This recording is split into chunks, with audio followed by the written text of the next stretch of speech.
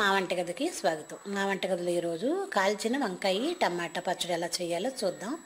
దానికి కావలసిన పదార్థాలు వంకాయలు రెండు పచ్చి టమాటాలు నాలుగు పచ్చిమిర్చి ఏడెనిమిది చింతపండు కొద్దిగా ఉప్పు రుచికి తగినంత ఆయిల్ నాలుగైదు టేబుల్ స్పూన్లు వేయించిన వేరుశనగ గింజలు అరకప్పు కరివేపాకు ఆవాలు జీలకర్ర మినపప్పు శనగపప్పు ఎండుమిర్చి వెల్లుల్లి కొద్ది కొద్దిగా తయారు చేయటం ఎలాగో చూద్దాం. నూనె వేడి చేసి దానిలో పచ్చిమిర్చి వేయించుకుందాం.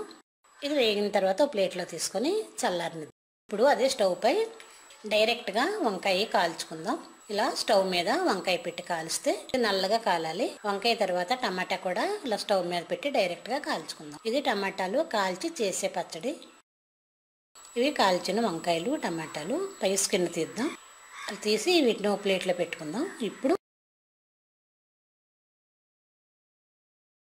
మిక్సీ జార్ తీసుకొని దానిలో వేయించిన పచ్చిమిర్చి వేయించిన వేరుశనగ పల్లీలు వేరుశనగ గింజలు కొద్దిగా చింతపండు రుచికి తగినంత ఉప్పు వేసి గ్రైండ్ చేసుకుందాం. ఇది గ్రైండ్ చేయవచ్చిన మిశ్రమం. దీనిలో కాల్చి పై స్కిన్ తీసిన టమాటా వంకాయలు కూడా వేసి మూత పెట్టి మరొకసారి గ్రైండ్ చేసుకుందాం.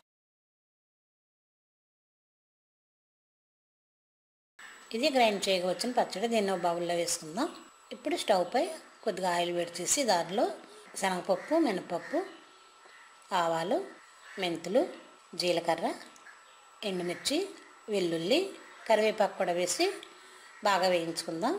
ఇది ఒక నిమిషం వేగిన తర్వాత ఈ పోపు తీసుకొచ్చి రెడీ చేసుకున్న పచ్చళ్ళు వేసుకొని ఒకసారి కలిపి సర్వ్ చేద్దాం.